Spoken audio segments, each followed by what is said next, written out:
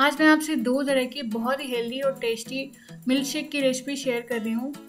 ये दोनों तरह के मिल्क शेक आपको बहुत सारे एनर्जी देगा और आप इसको दिन भर में कभी भी बनाकर पी सकते हैं और ये झटपट और आसान बन जाने वाली है। ये दोनों मिल्क शेक मैंने थोड़े अलग ट्विस्ट के साथ एकदम हेल्दी वर्जन में बनाना बताया है।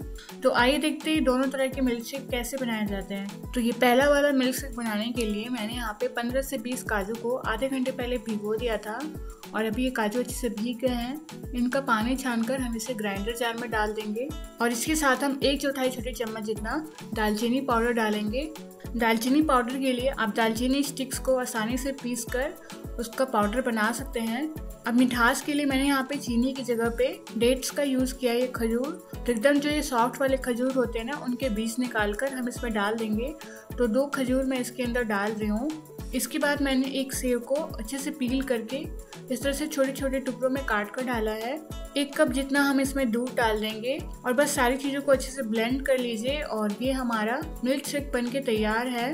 आप इसे डेयरी फ्री बनाने के लिए दूध की जगह पे चिल्ड वाटर का भी यूज़ कर सकते हैं। तो ये हमारा एप्पल सिनेमन शेक बन के तैयार है, जो कि बच्चों को बहुत ज़्यादा पसंद आएगा। इसके ऊपर थोड़ी सी दालचीनी पाउडर से गार्निश करके सर्व कीजिए। अब जो दूसरा शेक है, उसमें हम बनाना चॉकलेट शेक बनाएँगे। तो उसके लिए मैंने यहाँ पे दो केले लिए हैं। केलों को हमें छीलकर छोटे छोटे टुकड़ों में काट कर ग्राइंडर जार में डाल देना है। और केले के साथ ही मैंने 15 से 20 काजू भिगो के लिए थे। काजू भी डाल देंगे।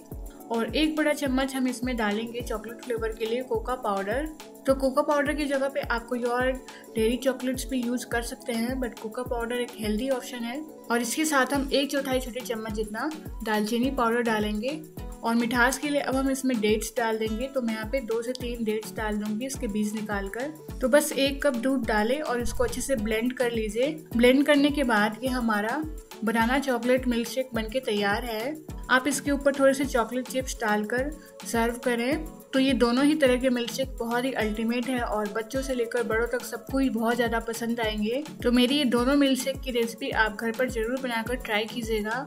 अगर आप बच्चों के लिए बना रहे हैं तो आप इसमें दूध डालकर बना सकते हैं। और अगर आप एडल्ट के लिए बना रहे हैं तो आप इसमें बिना दूध के भी चिल्ड वाटर डालकर बना सकते हैं और इन्जॉय कर सकते हैं। तो मेरी ये झटपट और आसानी से बन जाने वाली मिल्क शेक की रेसिपी आप सबको कैसी लगी हमें कमेंट्स में ज़रूर बताइएगा।